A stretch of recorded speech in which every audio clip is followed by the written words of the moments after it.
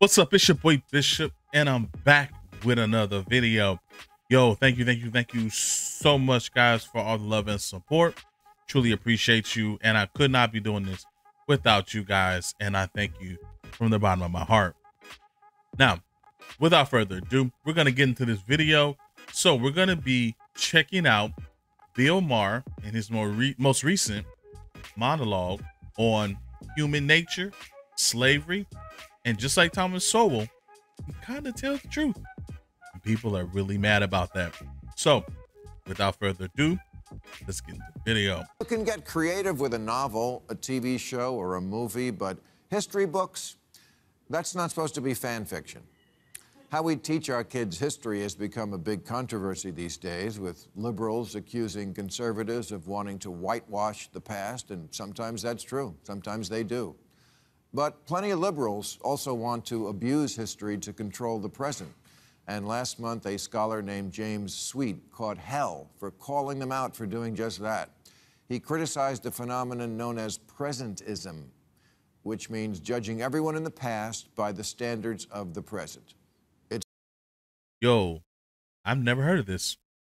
So, as you guys know, a lot of things I'm learning as I go on this journey of enlightenment, understanding, and just kind of getting a grasp on the history of things, the truth about things. Um, but if you guys have heard of presentism, let me know down in the comment section. It's the belief that people who lived 100 or 500 or 1,000 years ago really should have known better.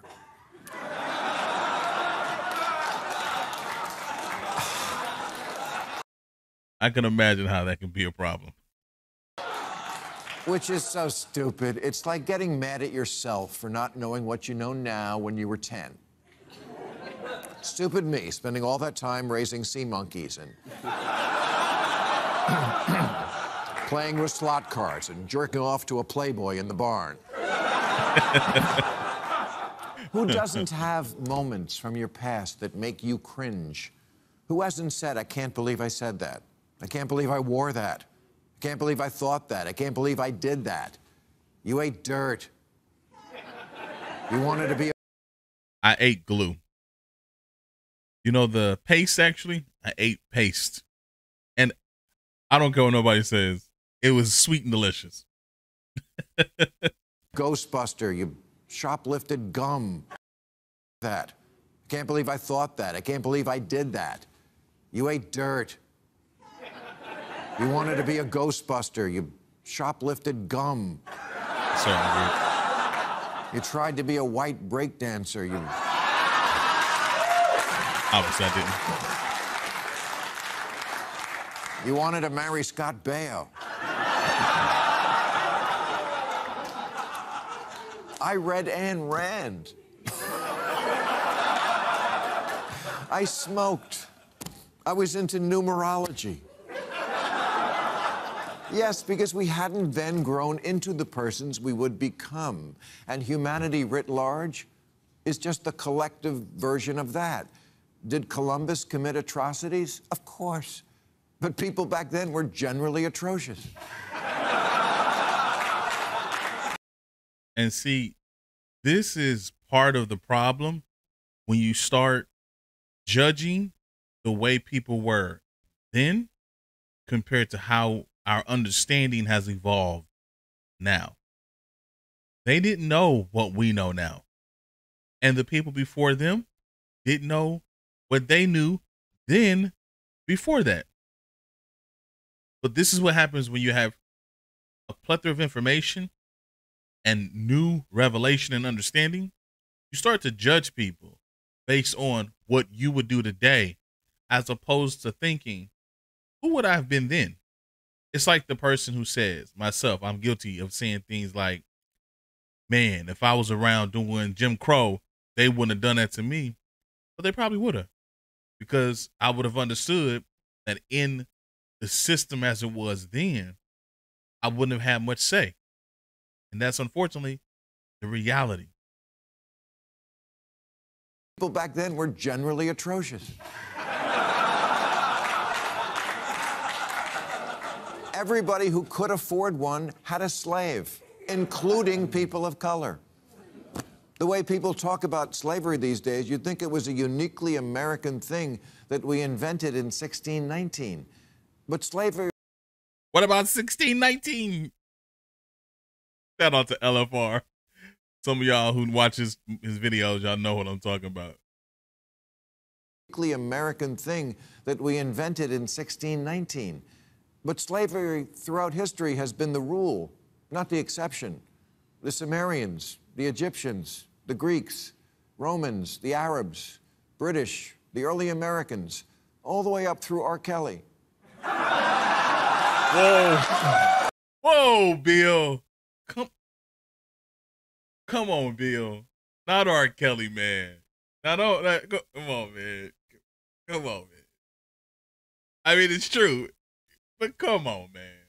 Not Kels. We rock with Kels. And we don't. But his music is still fire. I don't care. Nobody say cancel me. His music is still fire. TP12 is probably the best R&B album of the 90s. Or TP2.com, I mean. Debate me. Let me know in the comment section if you still like R. Kelly music. All the way up through R. Kelly.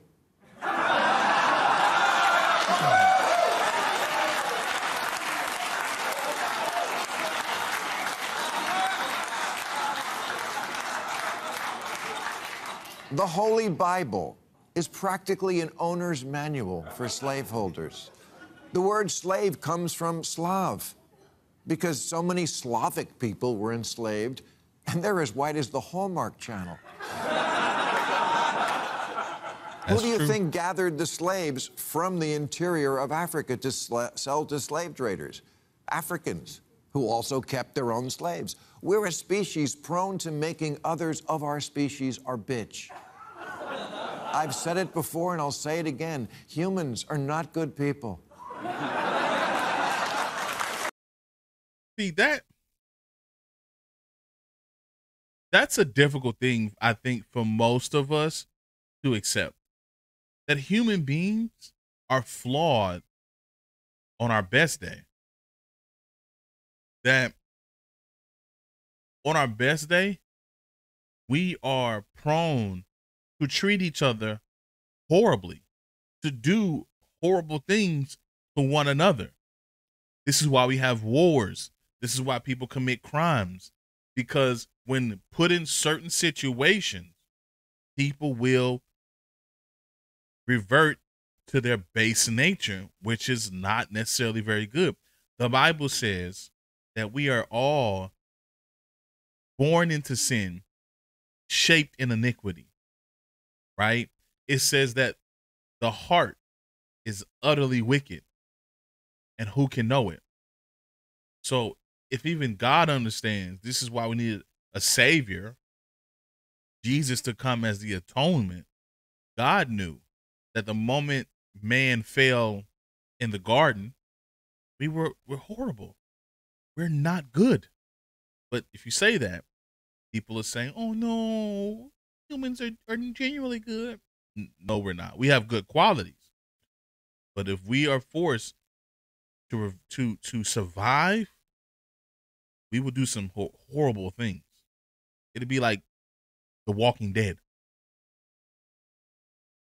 Humans are not good people.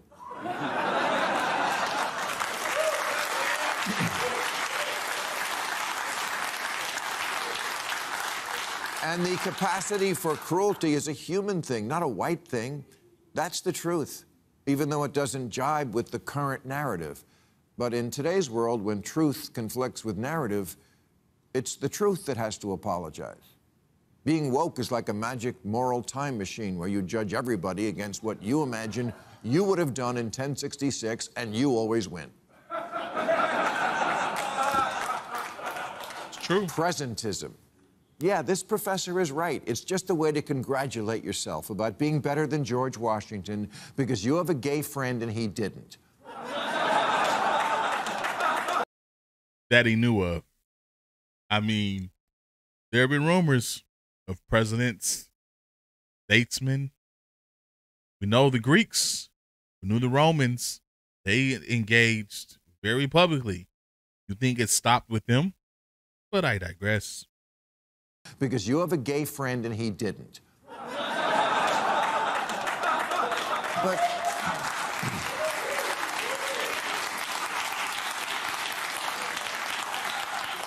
But if he was alive today, he would too. And if you weren't alive, if you were alive then, you wouldn't. Portland Public Schools has a plan now to teach kids that the idea of gender being mainly binary was brought here by white colonizers. The curriculum guide says when the United States was colonized by white settlers, their views around gender were forced upon the people already living here. Not even Star Trek would try that story.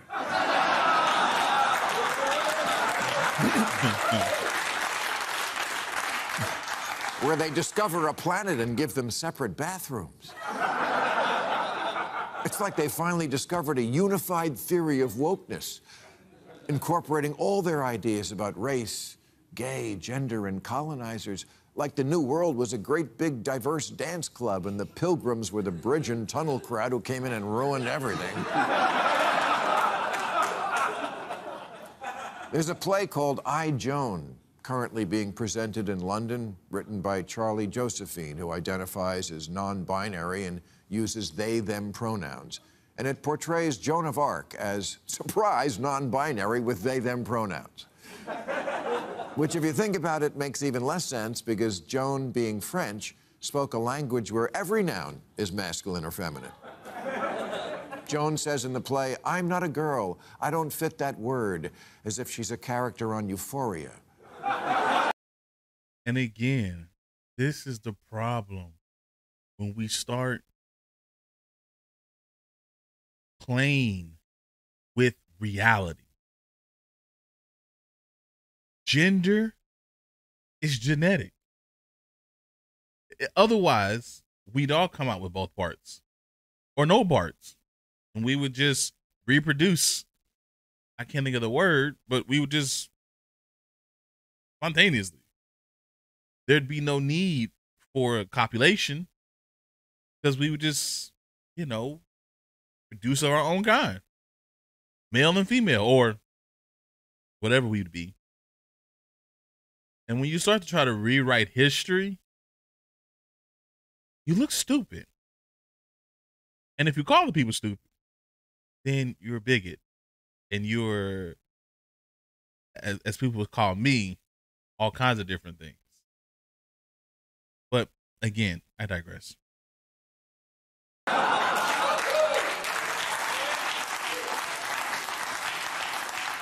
Now, it's true, Joan of Arc did wear pants, but that's what the soldiers wore, and she was soldiering. But in the retelling, Joan would rather die than stop wearing men's clothing. Okay, Joan of Arc wasn't executed by the fashion police. Her trial went on for over two months. We have the transcript. And not once did she complain about being misgendered. She had bigger fish to fry, like herself.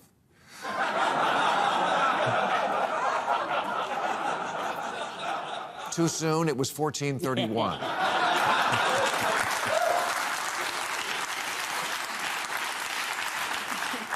Which is not to say that there isn't truth to the old rubric that history is written by the winners, and it is subjective. Napoleon said history is just a fable we all agree on. And he should know because he was a deaf woman named Diane.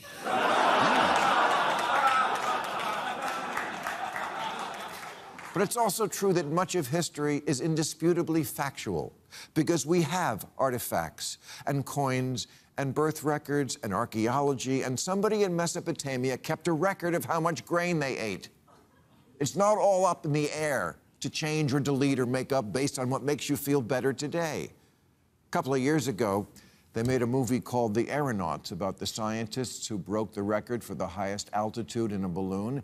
In fact, they were both men. But the movie made one of them a woman because, as the director explained, representation is important. So true.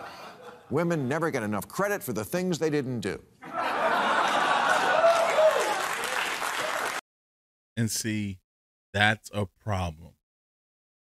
You cannot rewrite history to include people who were not involved in said history. Otherwise, it's a fairy tale. There is not an agenda, patriarchy, wo- uh, uh, gender, uh, uh, what is it? The conservatives trying to usurp authority. It is facts. And as Larry Elder said, Thomas Sowell has told us, facts don't care about your feelings. Quoting Ben Shapiro, but other scholars have told us this in their own unique way. You either allow the facts to speak for themselves or you make up whatever you want. And unfortunately, history does not favor feelings.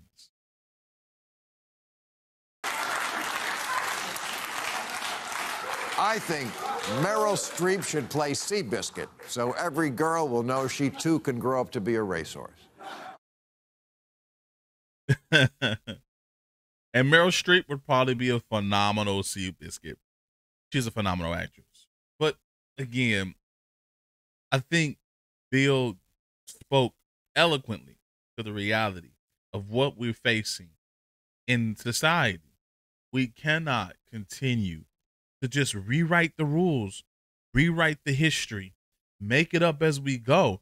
Because just like we judge the past today, in the future, our descendants will look back on us and we need to be careful that they don't ask the question, what the heck were they thinking? And why were they so stupid? that's all I got for you guys this today. I thank you so much for coming back and checking out my videos. You guys could literally be anywhere else on this YouTube. You choose to come check out our videos here at Bishop's Corner Reloaded. And I thank you and I appreciate you from the bottom of my heart. For all the new subscribers, welcome to the congregation. Thank you so much. And for those of you who are watching and have not yet subscribed, please consider hitting that red button Consider hitting that thumbs up to help with the algorithm and hit the bell notification so you're notified every time we drop a video here at the Bishop's Corner. Now, I have not forgotten about the giveaway. We're still trying to figure out the most fair way to choose a winner. Um, so bear with me. We are at about 1,200 subscribers now. We definitely want to get to 2,000. So we're working, we're diligent. I'm back. Um, I'm taking a little bit slower this time. I got a little burnt out before, so just bear with me. Um, and as always, stay safe. Know that I love you. God loves you more. Next time, peace.